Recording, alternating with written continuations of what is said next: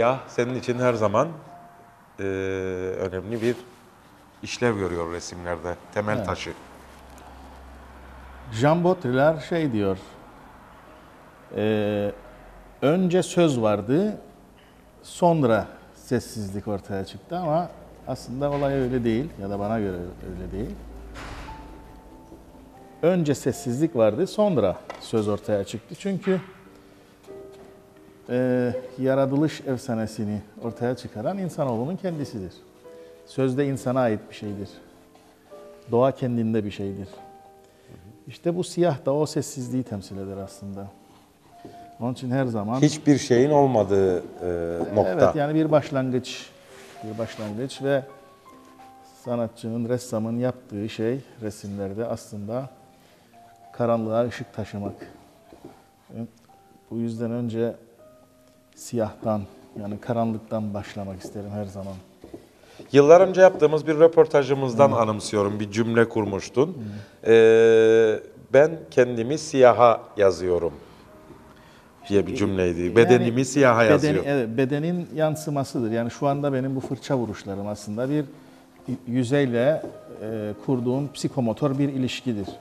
Yani burada aslında hiçbir şey yoktur demek değil. Bir şey vardır ama o bir şey e, çok şeylere gebe kalan şeydir. E, bir başlangıçtır. Ve bu kolumun yüzeyde gezinmesi ve yüzeyin siyahla örtülmesi bir eylemdir aslında. Bir e, tabula rasa eylemidir. E, yüzeyi sıfırlama eylemidir. Işığı sıfırlama eylemidir. Önce başlangıcı oluşturmak lazım. Ondan sonra süreci başlatmak lazım.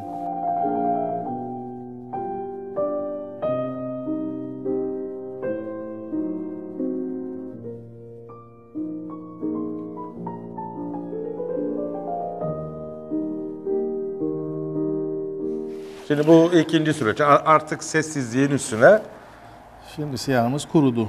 Kuruduğu için başlayabiliriz. Yani ilk katman siyahtır. Ondan sonra ikinci katmanlar, şimdi böyle bir resim denemesi yapıyoruz. Çünkü hiçbir zaman önce önceden planlanmış bir şeyim yok. Zaten genelde tablet şekli bellidir. Yani okuma seyri, gözün seyrine göre yapılandırırım şeyi, kompozisyonu. Tıpkı bir kitap sayfası gibi. Onun için eee, genelde hep öyledir şey. Kompozisyonlar.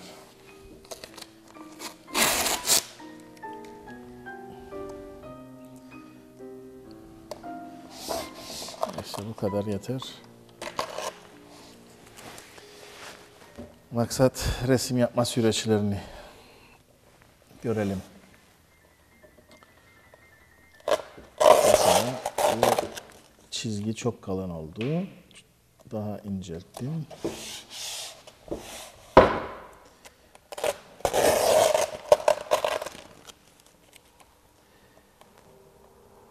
Her zaman resimde bir ana figür vardır. Yani kompozisyonu güçlendiren bir ana figür vardır. odak noktası. Ki- ve diğer bütün o e, irili ufaklı imgeler de o ana figürün etrafında e, serpiştirilir. Bunu paspartuyu yapıştırdıktan sonra iyice yerleşmesi lazım. Çünkü üzerine tekrar renk vuracağım için arasına kaçmaması lazım. Yani bir, bir resmin e, evet sanatsal, estetik, felsefik yönü vardır ama bir de teknik süreci vardır. O teknik süreç de önemlidir benim için. Yani Miro'nun dediği gibi ben bir e, sanat emekçisiyim diyordu. Sabah kalkıyorum, işimi yapıyorum. Akşamleyin dinleniyorum. Böyle bir şeyi vardı onun. Bir hayatı vardı. Evet doğrudur aslında. Sanatçılar emekçidirler. Yani işçilerden farklı bir e, çalışma disiplinleri yoktur. İlla ki belli bir zaman dilimi içinde mi çalışmaktır? Vallahi bir iş disiplinidir aslında. Yani sanatçının çalışma saatleri bir iş disiplinini içerir. içerir. Evet okuyorsun, okumalar yapıyorsun. Onlar sana bir bir zihinsel e, yetkinlik verir. Düşüncelerini, yapmak istediklerini okuduklarınla, yaşadıklarınla, kendi te- tecrübelerinle pekiştirirsin ve yeni bir yeni bir süreç başlatırsın. Ama bu süreç e, kendi yaşadığın süreçten e, farksız değil. Çoğu zaman sanatçının eser- eserleri bir tekrar gibi görünebilir ama aslında tekrar değil. Onlar tamama varma yolunda e, atılan adımların bütününü temsil eder. Her parça bir bütünü temsil eder. E, bu yüzden bir ritmi vardır. Müzik gibi tıpkı. Müzik gibi evet.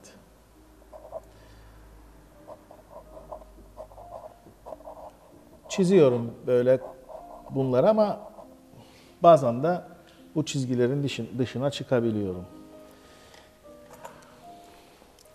Sonra kesme işlemi başlar. Çok dikkatli olmak lazım. Tıpkı bir cerrah gibi çalışıyorum. Artık ben paspartunun o milimetrik kalınlığını ezberledim. Elim onu iyi okuyor artık benim. Onun için e, tuvali kesme riskim yok.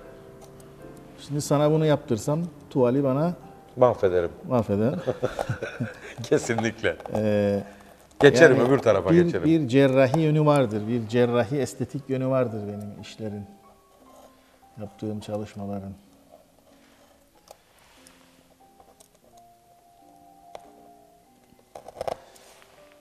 Yani elimin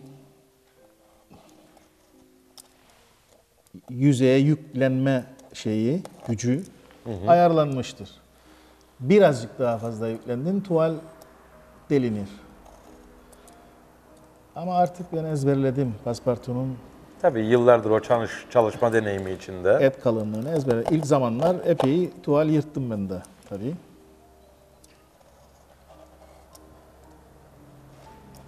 Şimdi bunlar, şimdi benim önümde aslında bir negatif, negatif çizgi var. Evet. Bu boyandığı zaman pozitife dönüşecek. Bunu söktüğüm zaman da oradaki o imge resim olarak yüzeyde e, yerini alacak.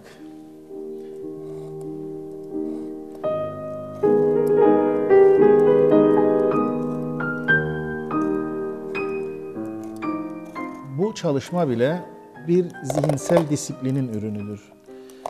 Ee, kol ve kafa arasındaki ilişkinin iyileştirilmiş şeklidir bu. İşte bu tekrar dediğiniz şeydir bana bu beceriyi kazandıran. Zaten e, öğrenmenin en önemli unsuru Evet. e, hayat içinde. Her alanda ama.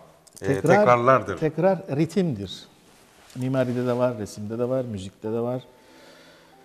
Ee, tekrardır bizi o bütüne kavuşturan. Bütüne varma çabasındayız biz. Hayatın kendisi odur zaten. Bu her küçük parça, her küçük imge bir mikrokozmostur aslında. Kendinde dünyadır. Ama biri birileriyle ilişkiye gir- girdikleri andan itibaren o bir makrokozmosa dönüşür. Yani bütüne dönüşür.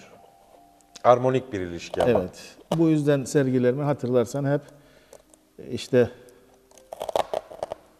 omnia bunu omnia dunum tekten, Tekten bütüne, bütüne. bütünden teke veya kozmik armoni gibi e, isimler koyarım e, eserlerime. Bir yerde bu e, düşünce yapısı kendine e, birey olarak, sanatçı olarak e, kozmos içinde kendini anlamlandırma çabası. Evet bir bir bir e, yer tayin edersin kendine. Ben buradayım dersin. Zaten ontolojik kaygı dediğimiz şey odur. İnsanın kendine hem varlık olarak hem de anlam olarak bir yer edinmesi.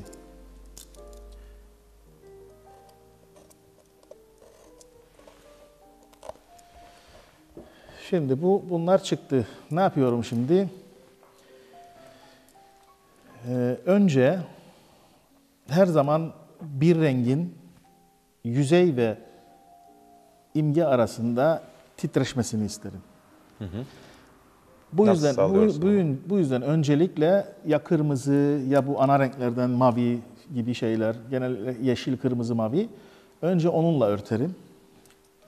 Kuruduktan sonra Bir katman daha. bir katman daha açık. Söktüğüm zaman siyah ve o imgeyi taşıyan renk arasında çok vibrasyon, minimal vibrasyon düzeyinde bir bir rengin titreştiğini görürüz. Bunlar beni ilgilendirir çünkü süreç bütünün bir parçasıdır ve süreç hiçbir zaman bütünden kopuk değil. Resim yapma süreci benim yapıtımın bir parçasıdır ve onu görmek isterim. Onun orada hissedilmesini isterim. Resmin yapılma süreçlerinin her parçasını izleyicinin algılamasını is- isterim. Yani alttaki rengin üzerine bir renk koyarken mutlaka ufak tefek küçük delikler bırakırım ki e, altta, Alttaki alttaki, rengi- rengi de algıla- algılayabilirim. Az önce siyahı vurduktan sonra stratografiden bahsettik ya. Bir çeşit katmanlar grafiğidir benim resmim. Katman katman üstüne katman. Yani en azından bir beş katman vardır her resimde ama onların algılanmasını isterim. Onların izleyici tarafından eee, görülebilmesini isterim. Yani resmin yapılma süreçlerini göstermek isterim. Eee, diyelim ki yeşil koyum. Mesela yeşili kullanıyorum ya. Ondan sonra da o e, parça halinde kullanacağım yüzeylere bakır koymayı düşüneceğim. Neden? Bu yeşili bakırın oksidi olarak ilişkilendirebilmem için. Onun için e,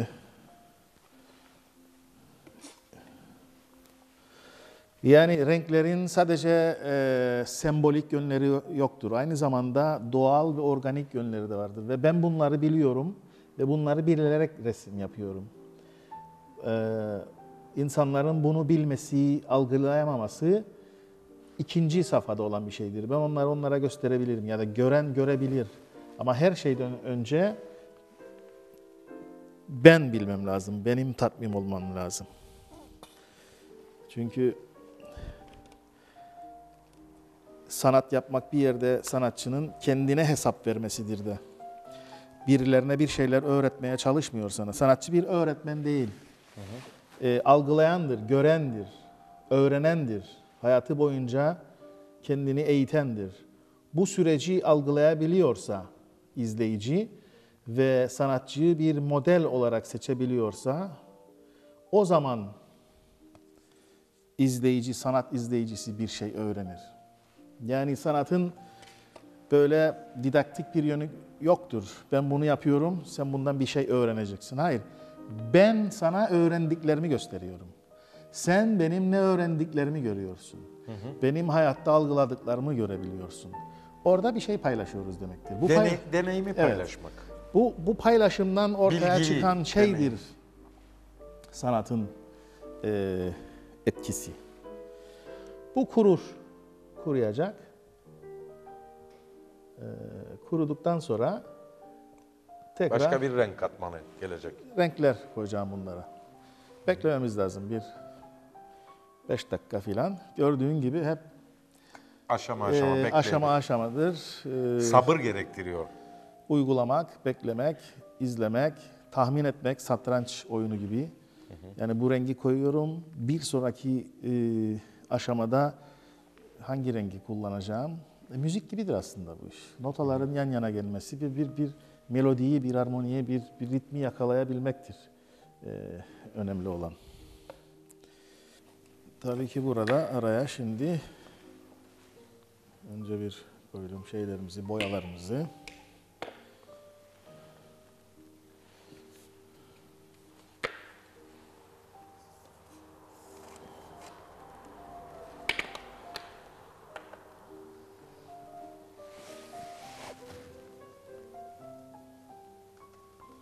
Açık maviye doğru gidiyoruz galiba. Maviler, yeşiller, sarılar ama hep açık tonda olması lazım ki siyahın üzerinde parlasınlar. Bunlar siyahın üzerinde parla, parlıyorlar. Parlamalarını da istiyorum. Bu yüzden e, bütün bu imgeleri serpiştirdikten sonra ve diğer siyah alanları örtmeye gelir sıra bu imgeler ve yüzey arasında e, siyah alanlar bırakırım. Bir titreşim imkanı tanırım şeye, e, imgeye. Hem o titreşim imkanı hem de e, altta siyahın varlığını göstermek için. Yani diyoruz ya her katmanın varlığını mutlaka görmemiz lazım. Yani mutlaka renk, renkler, renk vibrasyonuna önem veririm. Ee, bütün renklerin orada olması, bir yerde ışığı kullanmak. Çünkü renk ışıktır. Ee, ya da ışık renktir diyelim. Beyaz ışıktır. Renklerin toplamıdır. Saf ışık. Evet, beyaz. Siyah ise e, rengin yani ışığın olmadığı bir e, alandır. Minimumdan maksimuma gidiyoruz. Yani siyah minim, minimumudur resmin. Maksimumu da e, renktir, ışıktır. Minimumdan da öte hiçlik aslında bir yerde siyah. E, Yani zaten Öyle de yorumlanabilir. Evet, e, şeyde renk teknolojisinde öyle bir şey kullanılır. Ee, siyah minimumudur, beyaz maksimumudur. Dolayısıyla, dolayısıyla ne siyah ne de beyaz renk değildir.